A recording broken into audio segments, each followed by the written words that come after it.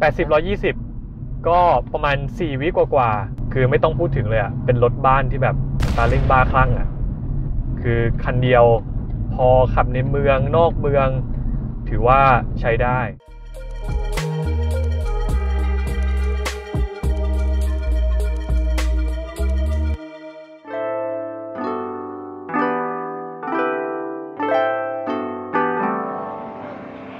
สวัสดีครับมีต้อนรับทุกท่านเข้าสู่รายการทีสูตรที่สุดของเรื่องรีวิวกับผมออฟอิทธิกรนะครับวันนี้เนี่ยเราเปลี่ยนบรรยากาศนะครับจากการรีวิวรถญี่ปุ่นเนี่ยมารีวิวรถยุโรปกันบ้าง ด้วยความเอื้อเฟื้อใจดีนะครับจากโชว์รูม BMW Europa พระราม 2 เขามีการย้ายโชว์รูมใหม่นะครับจากตรงข้ามเซ็นทรัลพระราม 2 มาอยู่ฝั่งเดียวกัน ก่อนถึงเซ็นทรัลนิดหน่อยนะครับ ก็มาใช้บริการกันได้ ที่นี่ครับ OR ใหญ่โตครับผม มีทั้งโชว์รูมส่วนของรถใหม่นะครับ ส่วนของศูนย์บริการ และก็ส่วนของรถมือ 2 คุณภาพดี BMW Premium Selection ให้ทุกท่านได้เลือกชมกันเลยนะครับ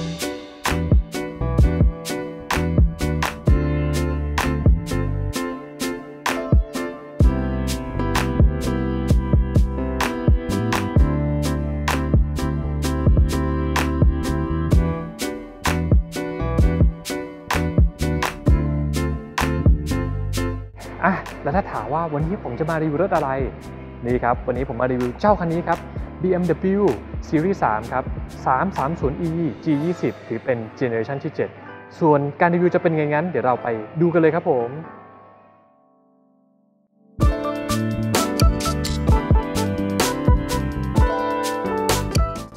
ซีรีส์ 3 ตัวประกอบในประเทศตัวนี้นะครับ เพิ่งเปิดตัวเมื่อเดือนกุมภาพันธ์ที่ผ่านมานี่เอง ราคาลดลงหลายแสนบาทเลย แต่ยังมาพร้อมกับการตกแต่งแบบ M Sport ครบชุด กันชนหน้าครับ มีการเจาะช่องจริง แล้วก็ที่กระจังหน้าเองก็มีช่องเปิดปิดอัตโนมัตินะครับ เพื่อหลักการทรงตัวที่ดี ส่วนไฟหน้าครับรวมถึงไฟตัดหมอกเนี่ยยกชุดมาจากต่างประเทศเลยนะครับเป็นแบบ Full LED ทั้งหมดแต่เสียดายที่ไม่มีระบบไฟสูงอัตโนมัติ กระจกมองข้างก็เป็นไฟเลี้ยวแบบ LED พร้อมกล้อง 360 องศาแบบ HD เห็นรอบคันแบบนี้นะครับ ไฟท้ายเองเนี่ยก็มาพร้อมกับไฟตัดหมอกหลัง และเป็นแบบ Full LED ครบชุด สวยๆ เหมือนตัวต่างประเทศอีกเหมือนไฟหน้าเลยนะครับ แล้วก็มีท่อไอเสียคู่ เสียงเพราะๆแบบนี้โดยเฉพาะเวลาเปิดในโหมดสปอร์ตยังมาพร้อมกับล้อขนาด 19 นิ้วนะครับลาย Double Spoke ก้านคู่เฉพาะ 330e แล้วก็มาพร้อมกับคาลิเปอร์เบรกครับ สีน้ำเงินเนี่ยอันเป็นเอกลักษณ์นะครับของรุ่น M Sport เท่านั้น ด้านข้างตัวรถยังมีโลโก้ M Sport พร้อมช่องชาร์จไฟเข้าแบตเตอรี่ไฮบริดแบบนี้อยู่นะครับ ก็แค่กดเปิดมาแล้วก็สามารถเสียบชาร์จไฟได้เลยสำหรับประตูทั้ง 4 บานครับมีระบบ Comfort Access แค่เอามือจับที่ประตูครับก็เปิดได้เลยทั้ง 4 บาน แล้วมาพร้อมกับเสาอากาศแบบครีบฉลาม พร้อมกับซันรูฟขนาดใหญ่ถึงด้านกลางรถเลยนะครับ เปิดปิดด้วยระบบไฟฟ้าแบบนี้สำหรับวิธีการเปิดฝาท้ายไฟฟ้าของรถคันนี้นะครับมีทั้งหมด 4 วิธีด้วยกัน วิธีแรกคือเปิดจากด้านในนะครับตรงประตูข้างคนขับจะมีสวิตช์เปิดอยู่นะครับคือแค่ดึงสลักขึ้นแค่นั้นเองก็เปิดนะหรือจะปิดก็ได้เหมือนกันนะครับวิธีที่ 2 คือกดเปิดเองตรงนี้นะครับผมเหมือนรถทั่วไปเลย มันก็จะเปิดขึ้น แล้วก็กดปิดไฟฟ้าลงมาได้ วิธีการที่ 3 ครับ กดจากที่รีโมทคอนโทรลนะครับผมก็กดเนี่ยครับค้างไว้จนกว่าประตูจะเปิด แล้วก็ปล่อยมือได้ แล้วก็กดค้างจนกว่าประตูจะปิดเสร็จนะครับคือวิธีการที่ 3 ส่วนวิธีการสุดท้ายครับเป็นวิธีการที่ใครหลาย ๆ คนน่าจะชื่นชอบนะครับ เวลาไปซื้อของนะครับ แล้วก็ทำตัวเป็นแบบเป็นผู้ชายกล้ามใหญ่นะฮะช่วยสาว ๆ ถือของนะแล้วก็ถือของแบบนี้ครับผมเรามีกุญแจอยู่กับตัวเนาะแล้วเราก็เอาเท้าครับ นี่แย่ไปแบบนี้ครับ แล้วฝาท้ายมันก็ไม่เปิดนะครับผม แล้วเราก็ต้องแยกทีหนึ่งนะครับผม อ่า แบบนี้นะครับ แล้วมันก็จะเปิดออกมาแล้วเราก็วางของไปได้ วางเสร็จนะครับผมแล้วก็เออวางของเสร็จแล้วนะฮะแล้วก็เตะอย่างเงี้ยครับผมได้เบาๆนะฮะก็ถือว่าเป็น4วิธีการเท่ๆนะครับในการเปิดปิดฝาท้ายของรถ BM คันนี้นะฮะและภายในครับของรถคันนี้เรียกว่ามีการตกแต่งที่หรูหราจากตัวปกติประมาณหนึ่ง รวมถึงแฝงความสปอร์ตในตัวนะครับพวงมาลัยเนี่ยได้แบบหุ้มหนังแบบ M Sport นะครับก็จะมีโลโก้ M Sport อยู่บนพวงมาลัย แต่สิ่งที่คันนี้ไม่มีคือพวงมาลัยปรับมือนะครับไม่ได้ปรับไฟฟ้าในขณะที่คู่แข่งอย่าง Mercedes-Benz เนี่ยปรับด้วยระบบไฟฟ้าแล้ว ด้านในครับมีจอระบบมาให้นะครับผมโอ้เรียกว่าจอดิจิตอลเนี้ยเต็มลูกตาเลยนะครับ trim การตกแต่งอลูมิเนียมเบาะหนังครับเป็น Vernasca นะครับอันนี้เป็นสีมอคค่าสีภายในขึ้นอยู่กับสีภายนอกนะครับ ถ้าสีภายนอกเนี้ยเป็นสีเข้มนะครับก็จะได้ภายในเนี่ยเป็นสีสีนี้นะครับก็ได้ภายในเป็นสีมอคค่าแต่ถ้าภายนอกเป็นสี Portimao Blue นะครับภายในก็จะเป็นสีดำนะครับอันนี้ก็แล้วแต่รุ่นนะครับการตกแต่งครับด้านบนเห็นไหมครับเป็นสีแบบ anthracite black นะครับมีเฉพาะในรุ่น M Sport เท่านั้น ก็หุ้มผ้ามานะครับก็มีความบุนุ่มหรูหราเลยนะครับตกแต่งครับไฟหน้าอย่างนี้ก็มีมาให้เรียบร้อยนี่ครับการตกแต่งไฟ ambient light นะครับผม แล้วก็มีพวกไฟในห้องโดยสารเป็น LED ทั้งหมดเลยแบบนี้ เสียอย่างเดียวครับ คันนี้เข็มขัดนิรภัยครับกลับปรับระดับไม่ได้ในรถราคาระดับ 2 ล้านปลายๆแบบนี้ครับ จริงๆ ควรจะมีมาให้เรียบร้อยแล้วนะครับ ด้านในเรียกว่ายกชุดมาจากตัวประกอบนอกเลยนะครับ มีทั้งหน้าปัด BMW Live Cockpit นะครับ ขนาด 12.3 นิ้ว แล้วก็ตัวระบบ iDrive เวอร์ชัน7ขนาด 10.25 นิ้วรองรับภาษาไทยครับ แต่อาจจะยังไม่สมบูรณ์มากนัก คันนี้มีไฟหน้าออโต้มาให้ แต่ไม่มีไฟสูงออโต้นะครับ แล้วก็ให้การตกแต่งเนี่ยเรื่องแสงภายในเป็นเรื่องสำคัญมาก มีไฟ ambient ถึง 66 เฉดสี ที่ประตูเองเวลาเปิดไปครับ ไฟ ambient เนี่ยก็จะเปลี่ยนเป็นสีแดงกระพริบนะครับ เพื่อเตือนคนด้านนอก ที่พื้นครับยามค่ำคืนเนี่ยก็จะมีไฟส่องสว่าง Welcome Light Carpet นะครับเพื่อให้เราเห็นของที่อยู่บนพื้นเนี่ยได้ชัดเจน กล่องเก็บของด้านหน้าครับมีฝาปิดซ่อนไว้ แล้วก็มีที่ชาร์จไร้สายครับสำหรับรองรับสมาร์ทโฟนรุ่นใหม่ๆ ได้ทั้งหมดเบาะครับปรับไฟฟ้าได้ละเอียดมากทั้งฝั่งคนขับและฝั่งที่นั่งผู้โดยสารนะครับเมมได้ 2ตำแหน่ง แต่ฝั่งผู้โดยสารเมมไม่ได้นะครับสำหรับพื้นที่ผู้โดยสารด้านหลังนะครับ อันนี้คือเบาะหน้าปรับในตำแหน่งที่ผมขับนะครับ ผมเนี่ยสูง 180 นะครับ แต่ภายในเนี่ยด้านหลังก็ถือว่าพื้นที่ห้องโดยสารครับก็พอเหลือใช้ได้ เพราะบอกข้างหน้ามันว้าไว้ให้นะครับผม พื้นที่มือก็เหลืออยู่ประมาณนี้นะครับ พื้นที่ศีรษะครับก็เรียกว่าหายห่วงมีการเว้าครับตรงศีรษะตรงนี้มานะครับแต่สีดำอาจจะดูทึบนิดนึง ไฟข้างหลังมี LED มาให้ มีแอร์หลังมาให้ มีช่องชาร์จไฟจุใจเต็มๆเลย มี USB-C ถึง 3 ช่องนะครับ ด้านหลัง 2 ช่องด้านหน้าช่องหนึ่ง และมี USB-A คือเป็นหัวเหลี่ยมปกติอยู่ 1 ช่องด้านหน้า และด้านหลังก็จะมีไฟช่องชาร์จ 12 โวลต์ให้อีกช่องหนึ่งด้วยนะครับแอร์เนี่ยเป็นแบบปรับ 3 โซนนะครับ ด้านหลังก็ปรับได้ อันนี้ครับ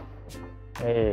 มีที่วางแขนตรงนี้ด้วย แบบล็อกนะครับ มันไม่ได้หักลงไปข้างล่างอย่างนี้ พร้อมกับที่วางแก้วตรงนี้นะครับ ผมมาให้อยู่ 2ตำแหน่งสำหรับที่วางแขนครับถือว่าใช้ได้เลยนะ แต่ว่าตรง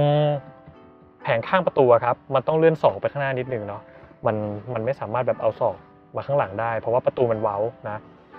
กล่องตรงกลางครับมีที่เก็บของทะลุไปห้องเก็บของด้านหลังได้นะครับ ก็สามารถพับเบาะลงมาอย่างนี้ได้นะครับ พับแบบ 40 20 40 นะครับผม นี่ด้านหลังก็จะไปสู่ห้องเก็บของก็เอามือล้วงเก็บของตรงนี้ได้ คันนี้ครับที่วางแบตเตอรี่เนื่องจากว่าคันนี้เป็นรถที่เป็น plug-in hybrid นะครับ แบตเตอรี่อยู่ใต้นี้ครับ ใต้เบาะผู้โดยสารตอนหลัง แล้วก็จนไปถึงที่เก็บของด้านท้าย เลยเป็นเหตุผลหนึ่งที่ทำให้ที่เก็บของด้านท้ายเนี่ยมันไม่จุเท่ารุ่นปกติ ซึ่งถือเป็นอีกหนึ่งข้อเสียของรถรุ่นไฟฟ้าเนี่ยที่เป็นไฮบริดหรือ plug-in hybrid ทั้งหลายเนี่ยก็ดีในตลาดนะครับระบบความปลอดภัยคันนี้เรียกว่าอัดแน่นมาให้เต็มคันรถนะครับ ทั้งระบบเตือนจุดอับสายตา Head Up Display ขนาดใหญ่ด้านหน้า พร้อมระบบเตือนนะครับ เมื่อขับเข้าใกล้รถคันหน้า แล้วก็รวมถึงเบรกให้อัตโนมัติด้วยนะครับ มาพร้อมกับถุงลมนิรภัย 6 ตำแหน่งนะครับ ระบบช่วยรักษารถให้อยู่ในเลนนะครับ จะหักพวงมาลัยกลับอัตโนมัติแบบนี้ และอื่นๆ อีกมากมาย เครื่องยนต์คันนี้ครับ เป็นแบบเบนซิน 4 สูบ 1,998 ซีซี รวมมอเตอร์ไฟฟ้าให้กำลังสูงสุดที่ 292 แรงม้าในโหมด Extra Boost นะครับ แรงบิด 420 นิวตันเมตร แบตเตอรี่ความจุ 12 กิโลวัตต์อาวนะครับ สามารถรองรับเนี่ยการขับขี่ด้วยไฟฟ้าที่สูงสุด 60 กิโล คันเกียร์เป็นแบบไฟฟ้าครับ พร้อมปุ่มปรับโหมดการขับขี่ ไม่ว่าจะเป็นโหมดพื้นฐานอย่างไฮบริดนะครับ เลือกได้เป็น Standard หรือ Eco Pro แล้วก็ยังมีโหมดสปอร์ตครับ ซึ่งถือว่าเป็นโหมดไฮไลท์นะครับ ซึ่งถ้าเลือกโหมดสปอร์ตแบบ Extra Boost เนี่ย จะเพิ่มอีก 40 แรงม้าเป็น 292 แรงม้า แต่ไฟในแบตเตอรี่ต้องพอนะครับ โหมดสปอร์ตแบบ Individual ปรับได้ละเอียดมาก ๆ เลย ผมชอบโหมดนี้มากนะครับ ผมชอบปรับพวงมาลัยเป็นธรรมดานะครับ แล้วก็ปรับช่วงล่าง เครื่องยนต์ แล้วก็อันอื่นเนี่ยให้เป็นแบบสปอร์ตให้หมด จะได้ feeling การขับขี่ที่ดีขึ้นอีกมากนะครับ ที่พวงมาลัยครับยังมาพร้อมกับ paddle shift ช่วยในการปรับเปลี่ยนเกียร์ได้นะครับ แล้วก็ที่เหยียบคันเร่งกับเบรกครับ เป็นแบบสปอร์ตมาให้ด้วยครับแล้วก็มาถึงช่วงทีมรีวิวกับทีสูนะครับ วันนี้เราก็จะพยายามหาคนเนี่ยหาเพื่อนมาลองนั่งดูนะครับ ว่าพอนั่งดูแล้วเนี่ยขับขี่ไปด้วยกันเนี่ยมีความรู้สึกยังไง ก็ไม่อยากให้มีความเห็นของผมคนเดียวนะครับผมและวันนี้ครับผมก็มีเพื่อนนะครับ รู้จักกันมาตั้งแต่ประถมแล้วแล้ววันนี้ก็แล้วเป็นทุกอย่างเป็นเพื่อนด้วย มาช่วยถ่ายเป็นตากล้องในคลิปนี้ด้วย จะเป็นใครไม่ได้นอกเหนือจากคุณบีมวิสรุตครับ เอาสปมเบอร์คุณบีมหน่อยอะคุณบีม สวัสดีครับบีมนะครับ ก็วันนี้โดนออฟหลอกใช้มา บอกว่าจะเลี้ยงโอมากาเสะหลังถ่ายเสร็จ แต่ว่าไม่รู้จะเลี้ยงยังไงช่วงนี้โควิดร้านปิดหมด ก่อนอื่นเนี่ย อยากให้คนแบบที่เขาดูอยู่เขารู้ว่าคุณบีมมีประสบการณ์ขับรถยังไงบ้างเพราะ ประสบการณ์แต่ละคนเนี่ยมันอาจจะมีความเห็นเนี่ยที่ไม่เหมือนกันในการวิจารณ์เรื่องรถยนต์นะครับ อย่างคุณบีมเนี่ยคุณบีมขับรถครั้งแรกเนี่ยบีมขับรถครั้งแรกตั้งแต่อายู่เท่าไหร่โหยเด็กเลยนะ ประมาณสิบสองสิบสามก็เริ่มฝึกแล้ว เพราะว่าตอนนั้นไปไปฝึกขับกับพี่ไงพี่พี่ก็ไปฝึกขับกับพ่อออ ก็ติดรถไปด้วย อ๋อคือพี่เขาขับกันแล้ว ตอนนั้นก็เลยขับด้วยเลย เออ ก็ติดรถไปด้วย อ๋อ แล้วก็ไปขับด้วย ก็ไปฝึกในแบบที่ต่อรถอะไรเงี้ย ไม่ได้ออกถนนหรอก อ่า คันแรกที่ฝึกขับเป็นรถอะไรจำได้ไหมคันแรกเป็น BM 318 BM 3 1 8โอ้ 318i รุ่นเจนเก่าๆอะนั่นนะเจนที่สองเหรอออเจนที่สองจำได้ แล้วพอหลังจากขับ BM มาคันต่อไปขับอะไรต่อ เป็นจี๊ปเป็นจี๊ปของพ่อ เพราะว่ารถมันสูงไง มันก็จะสามารถเห็นอะไรได้ง่าย มองเห็นอะไรได้รอบทิศแล้วมันก็จะเหมาะกับการฝึกขับไง จีปโอ้สมัยนั้นฮิตมากนะ เครื่อง 4 ลิตรอะ หลังจากจี๊ปก็เป็นเบนซ์ E W 200มั่งตาถั่วสักอย่าง หมายถึงคนขับตาถั่ว อะก็ตอนนั้นถ้าน่าจะเป็นเครื่องรุ่นอะไร e 200 compressor แล้วพอหลังจากเบนซ์บอกว่าเป็นรถญี่ปุ่นใช่ไหมเป็นรถอะไรวะ เป็นอะไรวะฟอร์ดกันดิฟอร์ดเป็นฟอร์ดก่อน เป็นฟอร์ดฟก็อร์ไม่ดญี่ปุ่นนะฟอร์ดนี่อเมริกันนะ ฟอร์ดจริง ๆ อะ เป็นของอเมริกันใช่ แต่ว่า ตอนนั้นฟอร์ดโฟกัสเขาบอกว่าเขาบอกว่าทำในยุโรป คนยุโรปเป็นคนคิด แต่ผลิตที่อินโดนีเซีย แล้วเอามาขายไทย อะ ปัจจุบันก็ขับ HRV ไม่ใช่ HRV ก็ไม่ได้เน้นความสปอร์ตอะไรมากมายก็อย่างที่รู้กันว่าเป็น SUV นะ ก็เน้นการใช้สอยมากกว่า เคยไปลองขับ CX 3 0ยัง อย่าง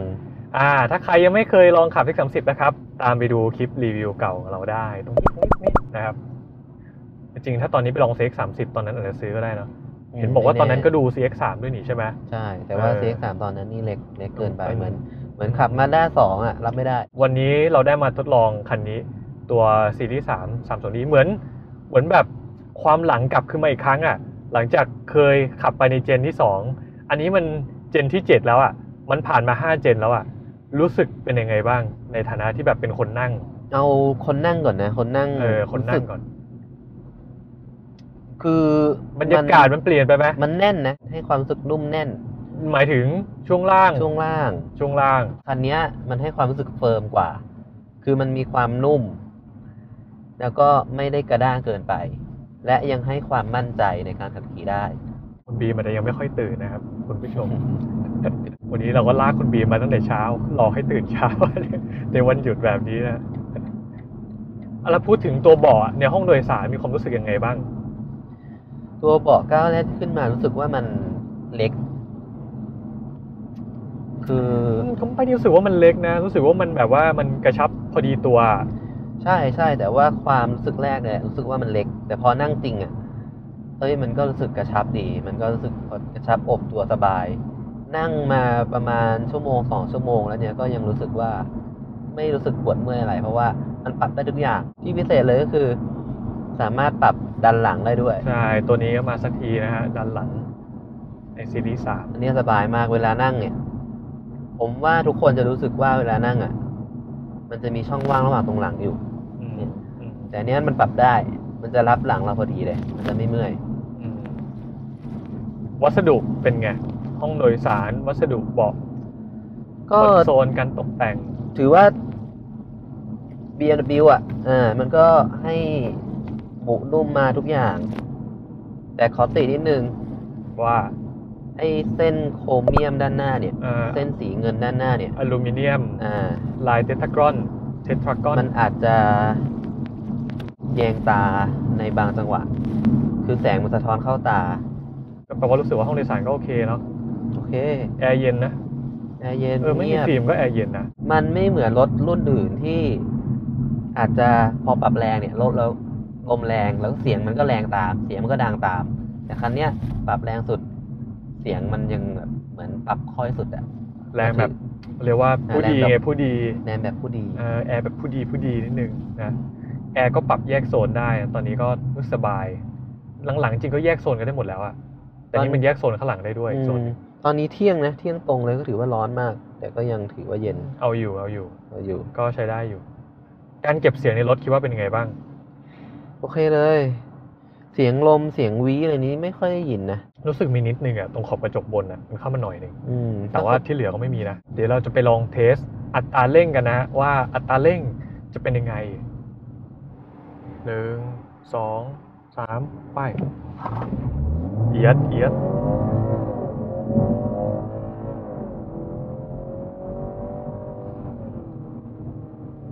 โอ้ประมาณ 6.6 วิ เดี๋ยวเราลอง 80 120หนึ่งสองไป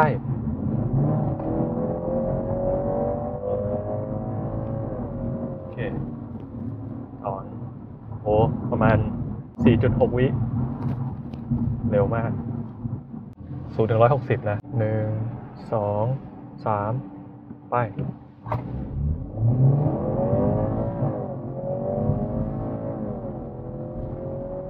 ร้อยร้อยยี่ร้อยสี่ร้อยหก อ๋อพอพอ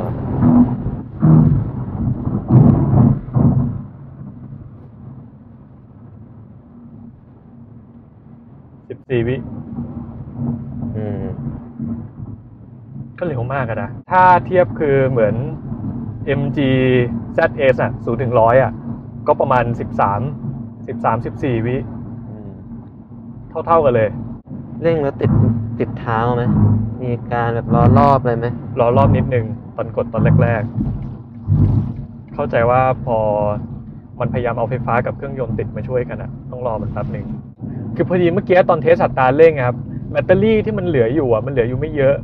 คือพอพอแบตพอแบตไฮบริดมันเหลือน้อยอะมันเลยอาจทำให้อัตราเร่งมันจะด้อยลงนิดนึง แต่โดยรวมก็ถือว่าโอเคนะศูนย์ถึงร้อยก็ประมาณ เท่าไหร่อะ6.5วิ7วิเนาะตัวเลขสเปคเขาเคลมไว้5.9วิก็ถือว่าโอเคนะอากาศร้อนแบบนี้ข้างนอกแบบ36องศาก็ก็ถือว่าทำได้ดี ถือว่าหัวติดเบาะหลังกระชากเบาะเฮ้ยเบาะกระชากหลังเฮ้ยกระชากหัว80 120 ก็ประมาณ 4 วิกว่าๆถือว่าโหจัดจ้านจัดจ้านมากสำหรับรถแบบนี้ แรงแรงคือไม่ต้องพูดถึงเลยอะเป็นรถบ้านที่แบบอัตราเร่งบ้าคลั่งอะคือคันเดียวพอขับในเมืองนอกเมือง ถือว่าใช้ได้ อันเนี้ยอัตราเร่งอะสอบผ่านทัศนวิสัยอะโอเคนะ ไม่รู้สึกว่าทึบคือส่วนตัว เหมือนมีคนที่บ้านใช้ซีรีส์3อะตัวเจนที่ 5 อยู่ ก็รู้สึกว่าทัศนวิสัยมันใกล้เคียงกัน ตัวนี้ดีกว่านิดนึง รู้สึกว่าคอนโซลฝาการเห็นฝากระโปรงอะมันมันชัดขึ้น มันเห็นรอบคันดีขึ้น กระจกมองข้างรู้สึกว่าโอเคพวงมาลัยอันนี้ชอบมากมันรู้สึกแบบมันเต็มไม้เต็มมืออะมันแน่นแบบกระชับดี ปุ่มก็มีให้หอมปากหอมคอครบทุกฟังก์ชันนะ แต่มันคงไม่แบบลูกเล่นเยอะแบบเหมือนเบนซ์อะเบนซ์นี่เรียกว่าเป็นปุ่มแบบเตาไมโครเวฟอะมันสัมผัสได้เยอะไปหมดคือมันก็แล้วแต่คนชอบเนาะว่าชอบแบบไหนกัน จอ จอนี่ไม่สองจอเนาะก็ตัว Live Cockpit Professional กับตัว iDrive ทั้งสองจอก็ดูดีหมดเลย ทั้งสองจอนะ ส่วนตัวชอบดีไซน์แบบเนี้ยมากกว่าเบนซ์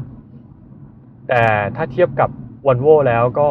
v o l v o มันได้เปรียบเรื่องจอกลาง มันเหมือนแท็บเล็ตอะจอมันจะใหญ่ ๆ อยู่ตรงกลาง มันจะให้ความรู้สึกประมาณว่าใช้ iPad อยู่อะมันจะมีปุ่มโฮมแบบไปไหน คิดไม่ออกบอกไม่ถูกกดปุ่มโฮมทุกอย่างสามารถเลื่อนได้ลากได้เหมือน iPad เลย อันนั้นอะทำให้อ่า v o l v o ได้เปรียบเรื่อง user interface แบบความง่ายในการใช้งานนะ อันนั้นก็จะได้เปรียบไปนะครับเนี่ยโหมาดูปิดปาร์ตขึ้นป่ะ In 800 meters, keep Yeah, yeah, right yeah, in yeah. four. อะแล้วถ้าพูดถึงรถในฝันบีมรถในฝันคืออะไรเดี๋ยวก่อนนะ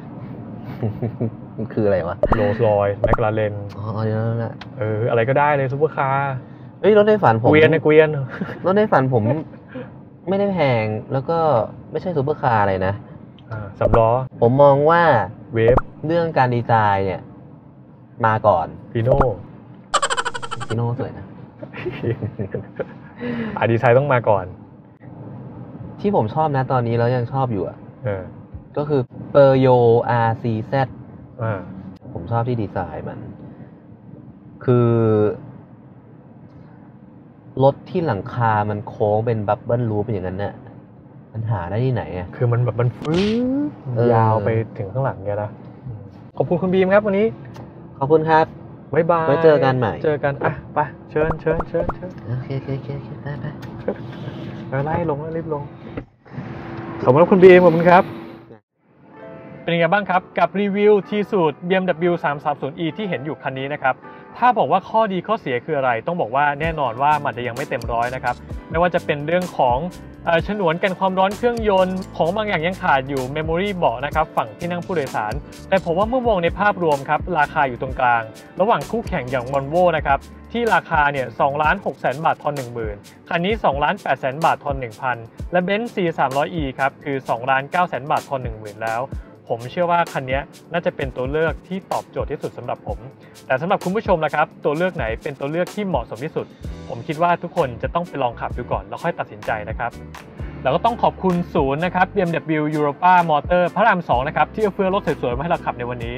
สำหรับคลิปต่อไปครับ จะเป็นคลิปอะไรต้องติดตามชมกัน อย่าลืมกดไลค์กดแชร์กด subscribe ครับ เพื่อเป็นกำลังใจกับพวกเรา เพราะคลิปที่ทุกท่านได้ดูกันในวันนี้นะครับผมเป็นคลิปที่เราไม่ได้รับค่าจ้างใดๆทั้งสิ้นในการทำนะครับแล้วคลิปต่อไปจะเป็นอะไรต้องติดตามชมกันสำหรับวันนี้ผมลาไปก่อน สวัสดีครับ